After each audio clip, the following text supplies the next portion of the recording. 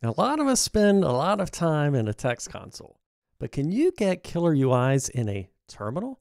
This is your first five minutes with Textual.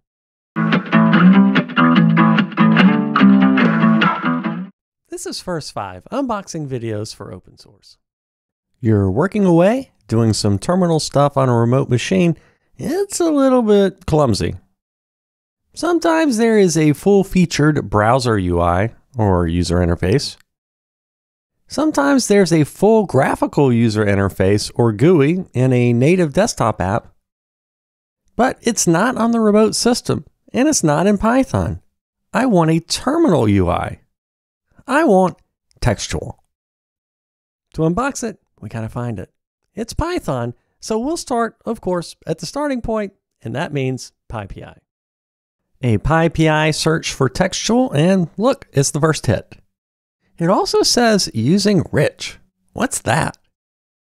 Rich puts a gorgeous face on Python command line applications. It's a big usability help. Rich has taken the Python world by storm. Both are by Will McGugan, a wonderful, helpful, and smart Python developer.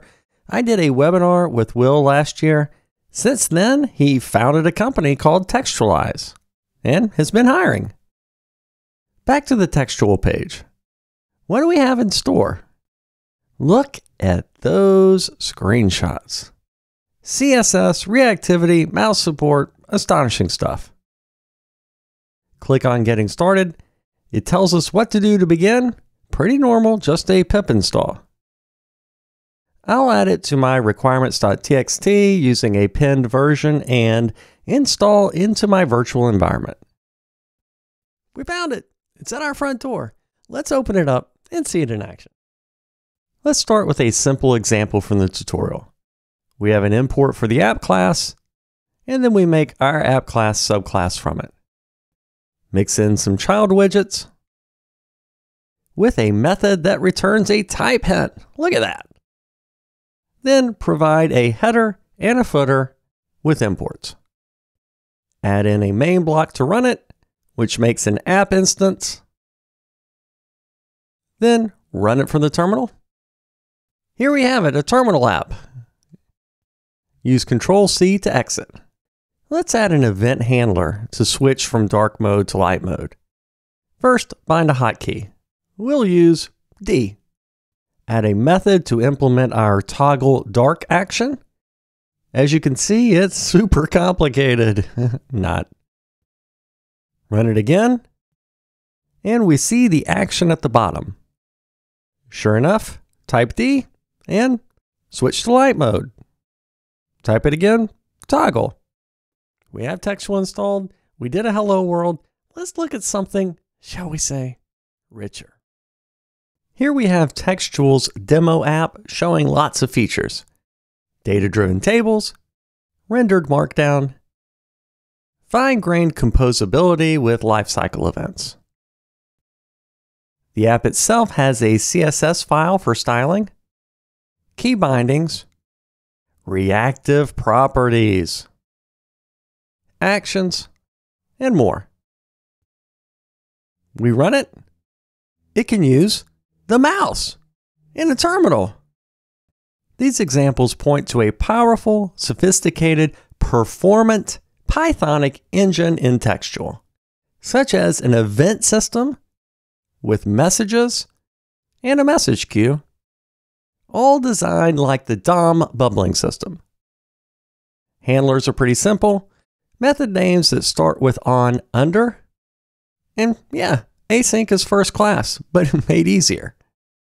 Widgets help divide your app into something like components. When you look at the table of contents, you see how much work has been done. Can you believe it? CSS for styling.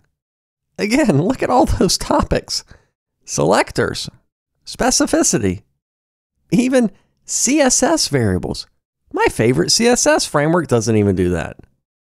On to my personal favorite, Textual has a reactivity system.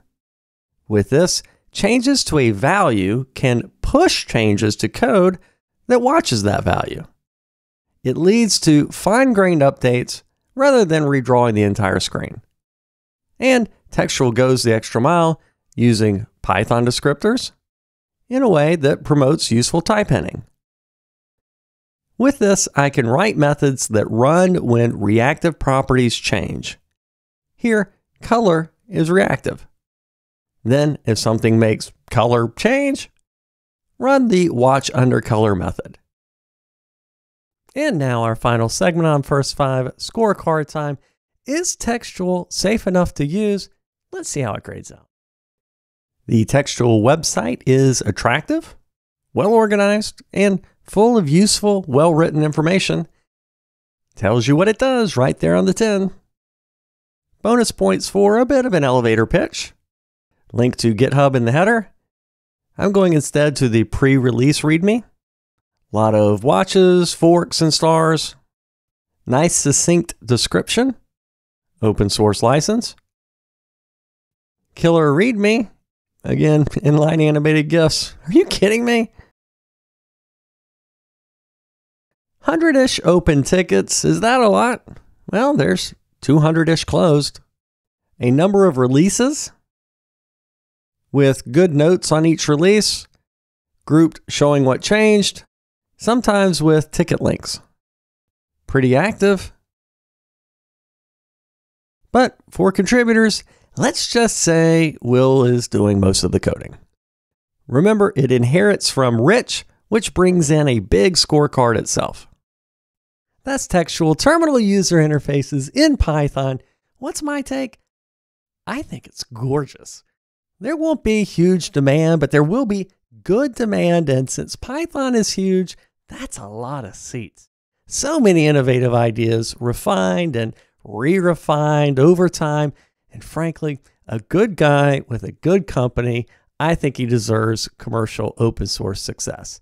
That's it for this first five on Textual. Can Textual make a TUI market? Share your thoughts down below. Thanks for watching and see you next time.